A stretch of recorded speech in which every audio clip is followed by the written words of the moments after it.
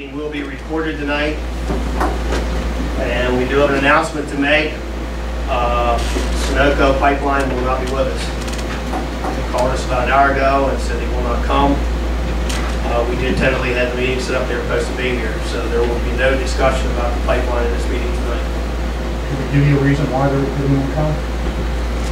No, not really. I mean, they just failed us and said they're not coming. I, I, we're looking for them to come and give some answers, but we don't have our solicitor available tonight, so he's not here to take any questions. So we're going to have a discussion on the uh, pipeline tonight. All right, uh, current bills here. I have a bill for QuickBooks for the annual payroll subscription for $610. Uh, Bell Engineering, I have a bill for their inspections of the pipeline for $598.50. I have a bill for them for doing Jonathan Martin's Chicken House for $505. Alright. Any discussion? Hearing none. Make a motion to pass this month's bills. Is there a second? I'll second. All in favor, say aye. Aye. Aye. Uh, nay on that? What was the $500 bill for the pipeline that you were looking at? Was it this one here we're not supposed to be talking about tonight? It's engineering inspections of what they're doing to our roads when they're traveling on the roads.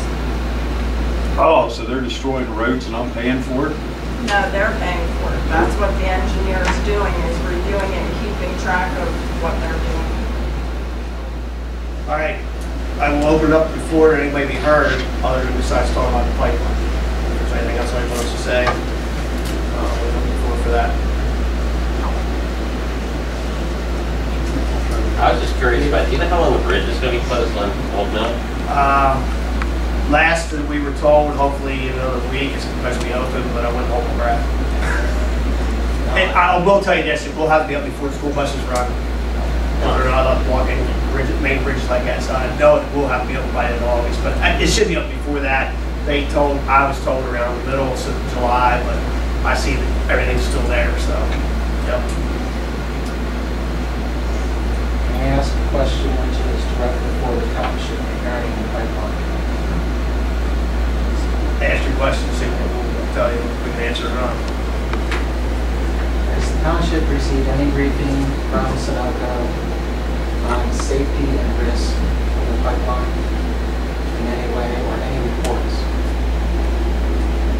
We received They want it. our days off. We have literature here, if you just want to take, we've got literature from they didn't drop off. Uh, as far as a direct report now, I'm imagining those are probably what some of us got in the mail, their general um, propaganda from their lack of better word. I mean, there is a safety report, risk analysis that was uh, discussed in some other townships, although people were required to sign non-disclosure agreement, uh, so they couldn't couldn't discuss it with the public. This is test, have any of you received any kind of formal reports about the risks and safety of the pipeline? no.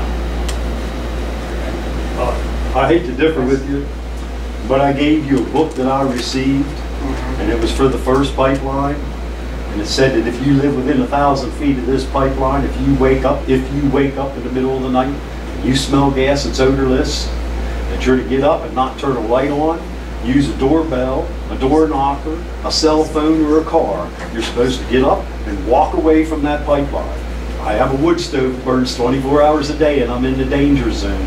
I want to know who's putting up some kind of system to protect me in the middle of the night for me, my family, my animals, and everybody else in this township that lives within a thousand feet of that pipeline is to be protected and represented by the local government. It is your responsibility to make sure that we are represented. This book tells you everything. It tells you, you know, what to do, what not to do, and everything. And by their regulations, everybody in a thousand foot of this pipeline is to get a book of that. And I've only found four people so far in Lower Frankford Township that received the book. You yourself haven't received the book. I gave it to you to copy it two meetings ago.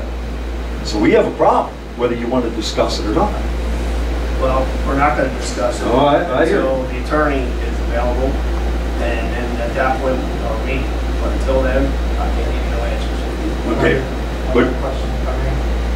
What's- Um, Recognizing they decided to file out, um, so you're going to try to reschedule them, so. We're gonna Yes. try. Go ahead. Yeah, I, Yeah. no, I would, I'm gonna try to get them to get here. Yeah. I mean, that's all we can do. The, your questions need to be directed towards Sunoco because we don't have any more answers than what you guys have. Um, I asked them and probably got no answers, but if it's another opportunity to put them on record, it's Yes. not willing to share. But, um, the only reason we found out about this, because we happened to see something in the news. um, Maybe any sort of notification, phone calls or something, this would bring that would be scheduled in particular, so we'd be sure to be here. If you put your phone number on the sign-in sheet, if we can get them to come, I'd be happy to call you. All right, thank you.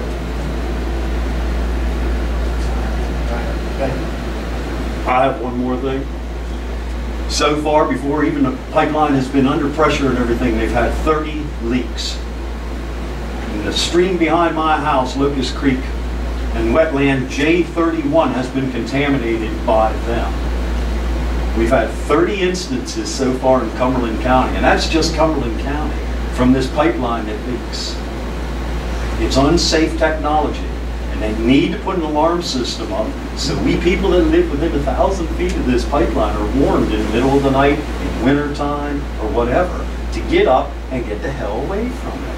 That's a simple thing. Take that proposal to them. Their regulations, they're breaking them. They're fined all the time by the federal government, millions of dollars. They just don't care. I care. I live within a thousand feet of the pipeline. My creek is now contaminated. The wetlands now have hydraulic fluid in it.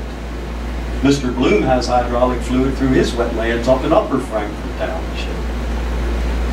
So we're having a polluting problem even before they pressurize the pipe. And they've upgraded the pressure on the old iron pipe from 800 pounds of pressure towards 1400 and they backflow it. And the erosion on the inside of that old iron pipe, she's ready to go. take those concerns to them. I I hope so. Like uh, James just said here, we're going to try to get them to come on the meeting. And ones, I try to turn the pressure on and they shell. So try again with all the problems.